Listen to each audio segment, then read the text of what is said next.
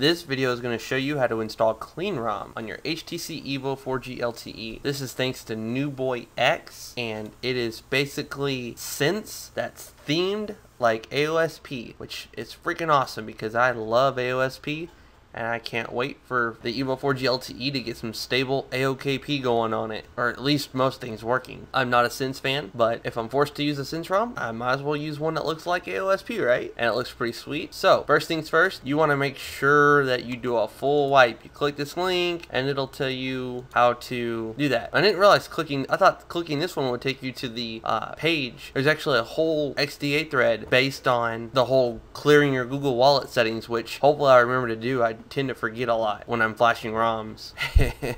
Because uh, I have actually ran an RUU and flashed other ROMs without wiping that data and got Google Wallet working again. I will definitely try to find a link to how I got it back. But it is frustrating and it's much easier if you just clear it first. Because then you don't got to go through all that crap I went through. But anyways, you'll want to download the Super Wipe. It's this right here. Whatever you're using, just save it. I'm going to save it to my desktop using DownThemAll. Then I'm to go over here and download this ROM. You just click the big download button and I always copy the MD5 and verify it. You do not have to, but it's my choice. So the Evo 4G LTE. Alrighty, now I am a member. oh man. Alright, that's DE, BE. What the heck? I don't understand this. DE. So it's this one right here. And click download and then save it. I am very sorry, Scott's ROM, for using up all that bandwidth just to download the right file. Alright, open containing folder, send to WinMD5 sum. Awesome. WinMD5 sum verified that the MD5 matched right here with this one, DE10. But we're to go ahead and plug the phone in. It brings up a screen that says charge only, disk drive, USB tethering, media sync, etc. Huge shout out to the person that told me about this. I'm to go ahead and put their name up on the screen right now. Pressing media sync will let you access both your internal and external storage inside Windows. See, I click on Evo and then I choose phone. Make sure you choose phone. This is a much faster storage than this and this is a class 10 if you're going to be doing this manually, where you power down, boot in a bootloader, boot in recovery, install zip, wipe, all that stuff, put it in the root directory, it just makes it easier to find. If you're going to be doing it the way I'm doing it, which is an automated, you set all the zips and it does everything for you method, open up the Goo Manager folder. If you don't have this folder, it's really simple. Open up the Goo Manager app on your phone, download the Google add-ons, or just something random, and it will create the Goo Manager directory as you see, I already have that super wipe thing that we put on the desktop right here. I'm a huge MD5 checker. See, that one ends in D05. Oh, I can't do that one because it's whatever. Anyways, that's the right one. So we're going to transfer. I'm going to go ahead and do all these just in case. But that one's the one that the OP says to download. And that's the one that the MD5 matches. I figured this would be the perfect time to explain this since searching the forums I found the answer I was looking for. The DE is the one for developers and it's the one that's desensed. The other one is a sense-based ROM and it's completely different than the one we are currently installing. It's funny. Transferring to the internal storage actually takes longer than taking your micro SD card out, putting it in a little reader, and transferring it at 15, 18 megabytes per second. Off topic real quick, what I don't get is, you'll notice that there is no safely eject thing for the EVO 4G LTE, but when I hook up the Galaxy Nexus, it says safely eject MTP. When I hook up my Transformer Prime, I can safely eject my Transformer Prime. So I don't know why it doesn't do that on the EVO 4G LTE. If somebody can explain that to me, that'd be freaking awesome. I'd love you forever. Okay, so really you only had to transfer that DE1. Now you're just gonna go to your phone and change it from media sync to charge only and done. And now we're gonna go to the phone. Alright, so we're at the phone and I'm gonna go ahead and immediately go to my Google Wallet and wipe the settings before I forget, because I know I'm gonna forget. Press menu, go to settings, and then press reset Google Wallet reset.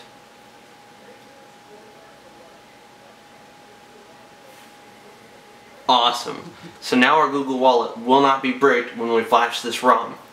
I'm going to open up Goo Manager And since we placed the super wipe and the update.zip in the goo manager folder, immediately when we click flash ROMs, they will be available right there. I highly recommend pressing menu, install OpenScript recovery, press yes, and then you want to check and see if that is newer than the one you actually have right now. I know that I have version 2.2 installed, so I'm going to go ahead and press no. If you have an older version, make sure you press yes. Then go back to Flash ROMs, and the ROMs that we put in the Goo Manager folder are right there, immediately available without having to look for them. We're going to choose the DE1 and the Super Wipe. Order Flash selected. Make sure that the Super Wipe is up top, because you want it to wipe your phone. If you're a worrywart, go ahead and press both of these right here. But that right there is going to wipe it for you. So I'm not going to worry about it. I'm going to choose create backup and I'm going to name it MeanROM. Okay. Oh, I can't have any spaces. Okay. Now flash and yes.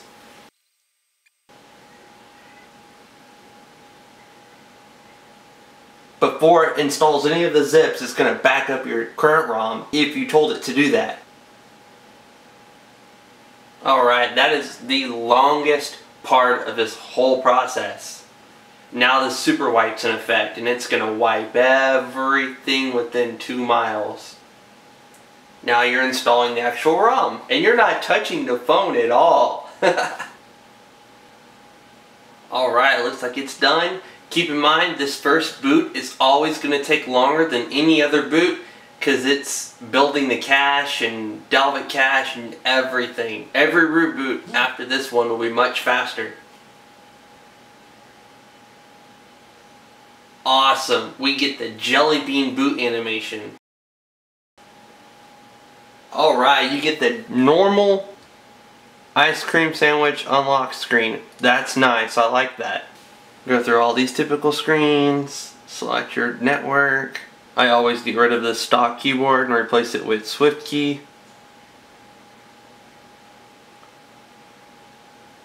Awesome. The screen that says like tell HTC is gone. You don't have that in this ROM. That's awesome. Sign into my Google account, press next. The screen's really dim, so gotta change that. That's awesome. Looks just like the ice cream sandwich launcher. Actually comes with Apex. That's pretty cool. When you bring down a notification bar, you got your quick settings to turn things on and off. There's everything you get. Your flashlight, brightness, rotation, GPS, everything's right there. Looks like with nothing installed, you get about 204 megabytes free. This will take you to your settings. We'll go to the About, software information. There you go, CleanROM DE 1.0. There's the ice cream sandwich clock, Wi-Fi icons, and etc. It doesn't look like when there's data transferring it moves up and down, but that may not be something they could control. This is Apex Launcher. I've never used Apex Launcher. I did try Nova Launcher and I really liked it, so this will give me a pretty good chance to play with Apex and see if it's better than Nova. Looks like you get about three rows of apps. You get ES File Explorer, which is one of the best file explorers I've ever used, and I've used several of them. Comes with Holo Unlocker, Evo LTE Overclock. It has root through Super SU instead of Super User, which more and more ROMs for this phone are coming with that by default. I'm not sure why the change, but I've been using Super SU for a couple months now and I have no complaints at all. I'll use Super User, I'll use Super SU, I don't care. I just want root. And then you also get Wi-Fi tether. So, very minimalistic, which is nice. Doesn't come with a lot of crap. You get your quick settings, all these right here.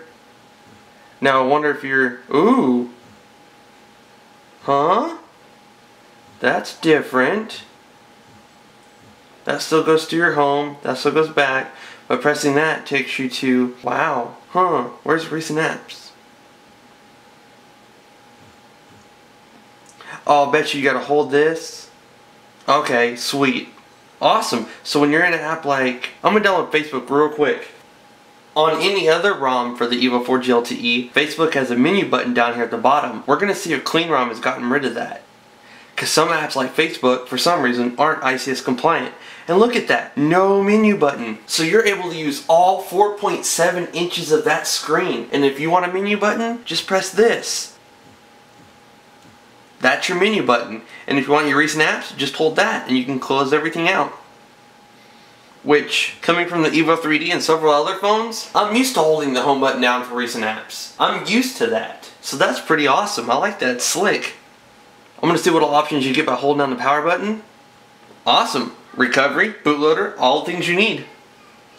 This is my video on how to install Clean ROM on the Evo 4 LTE and a quick look. I'm not calling it a review because I haven't had time to test out the battery life. I haven't had time to see if some stuff works and some stuff doesn't. I haven't had time with it and I can't call something a review when I haven't used it for more than a day. If you like this video, please give it a big thumbs up. I spend a lot of time on my videos. I got videos on different phones and root methods and just posted one on the Transformer Prime installing Jelly Bean. I've got tons of other devices. I'm getting future devices if you like this video, please give it a thumbs up. If you're new to my channel, please consider hitting that subscribe button. It helps me out a lot. I recently hit 5,000 subscribers and I cannot thank you guys enough. I wouldn't be doing this stuff if it wasn't for all the support and people commenting and liking and subscribing to my channel. This is what would Josh do and I'm out.